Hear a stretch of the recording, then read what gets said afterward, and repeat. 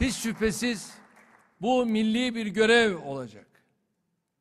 Uzaya göndereceğimiz vatandaşımız kendisinin ya da Türkiye'deki diğer bilim insanlarının yer çekimsiz uzay ortamında yapmak istedikleri bilimsel test ve deneyleri gerçekleştirme imkanına sahip olacak.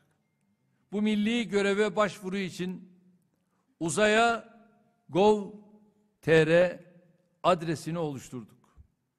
Belirlenen o eğitim şartlarını sağlayan 45 yaşından genç tüm Türkiye Cumhuriyeti vatandaşları bu görev için başvurabilirler. 45 yaşından genç. Vedat Hoca senin durumu uymuyor. Başvurular arasından çekilecek ve seçilecek.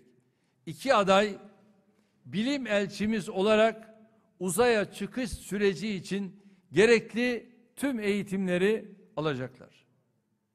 Eğitimlerin sonunda bu iki adaydan biri üstlendikleri tarihi görev için 2023 yılında uluslararası uzay istasyonuna gönderilecek.